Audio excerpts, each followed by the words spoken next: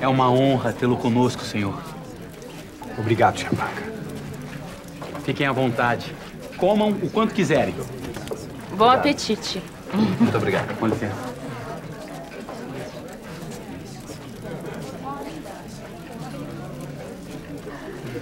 Ah, Lázaro, deixa disso. Vai logo fazer as pazes com a Suzana.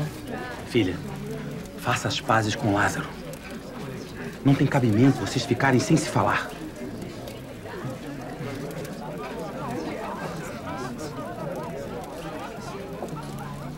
Quer dizer que. que Marta foi pedida em casamento. Ela até desmaiou de susto, coitada. A minha irmã não lida muito bem com surpresas e sequer imaginou que o Malco teria essa coragem. Malco teve coragem. Aliás.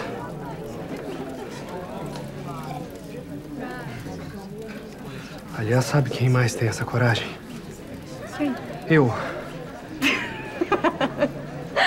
Celote. Acha que eu não teria coragem de te pedir em casamento? Você tá falando sério? Eu nunca falei tão sério em toda a minha vida, Betânia.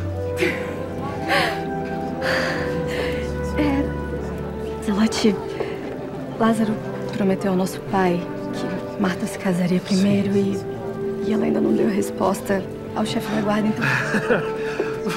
Você tá querendo dizer que ace- aceitaria? Aceitaria se casar comigo, Betânia? Sim, é claro Sim. que sim. Está bem. É, é, está bem. Esperaremos.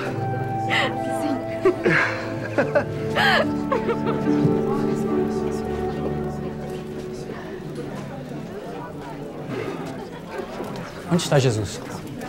Jesus está na mesa, ao centro. Mestre, com licença. Será que poderia me ajudar? Eu peço, por favor, que ordene a meu irmão que reparta comigo a herança que ele recebeu. Senhores, senhores, silêncio, silêncio.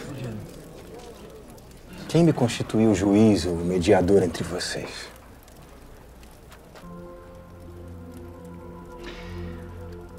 Tomem cuidado e se guardem de toda e qualquer avareza.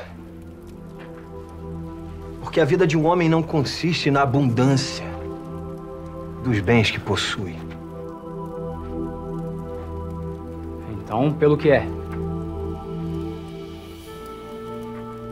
Certa vez, um homem rico produziu uma colheita extraordinária.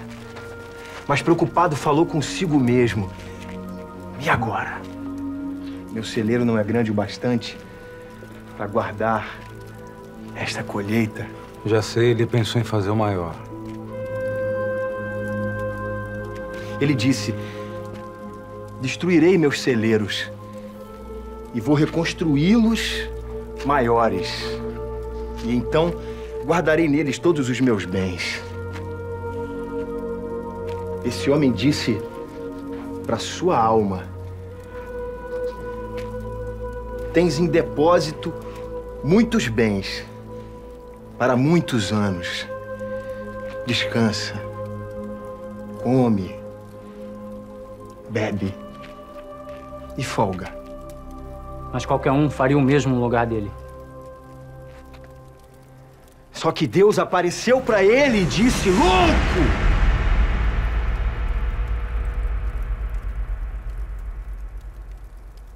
Esta noite pedirão a sua alma. E o que você tem preparado? Me diga. Para quem ela será?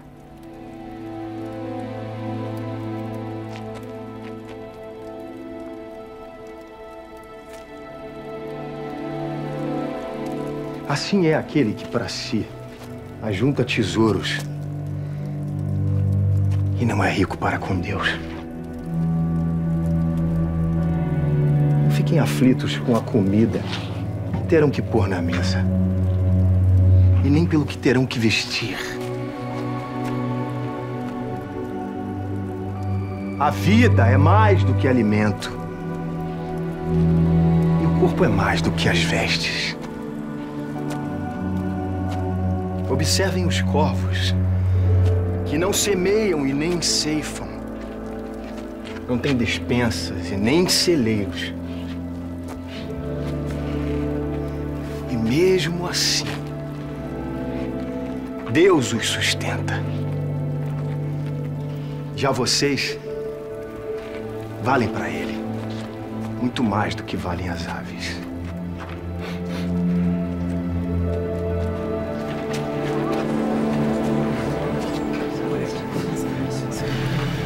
Ele não entendeu nada.